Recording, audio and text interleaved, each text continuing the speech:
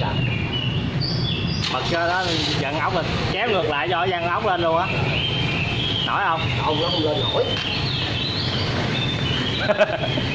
Quá quá Ủa, có tình yếu người ta làm lại thôi. Lại lại không?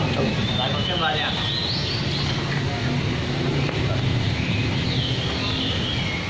Chưa rồi.